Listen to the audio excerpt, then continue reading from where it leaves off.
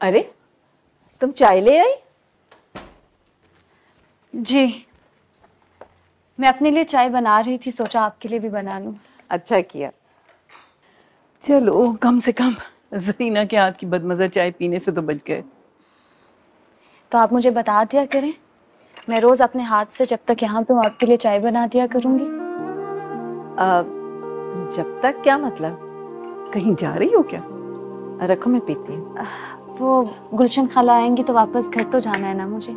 कोई ज़रूरत नहीं। है जब तक हारिस नहीं आ जाता तुम कहीं नहीं जाओगी। बताओ भला अपनों के होते हुए बच्चियाँ गैरों के साथ क्यों रहे? मगर दादी मुझे कोई अगर मगर नहीं। क्या तुम इसे अपना घर नहीं समझती बेटा? ऐसी बात बिल्कुल नहीं है आंटी। आप लोगों ने जितना मुझे प्यार दिया इतना तो मुझे किसी अपने ने भी कभी नहीं दिया। तो फिर आइंदा ये बात कभी अपने मुँह से मत निकालना। तुम हमारे लिए बिल्कुल अलीजे की तरह हो हमारी बेटी और इसे अपना घर ही समझो। बिल्कुल ठीक कह रही है आप तो। अगर कोई कुछ कहता है तो कहने दो। मैं इस घर की सरपरस्त हूँ मेरा घर है बस मेरी मर्ज़ी और खुशी का ख्याल रखना है तुम्हें। बहुत शुक्रिया आपका। आप चाय लें प्लीज़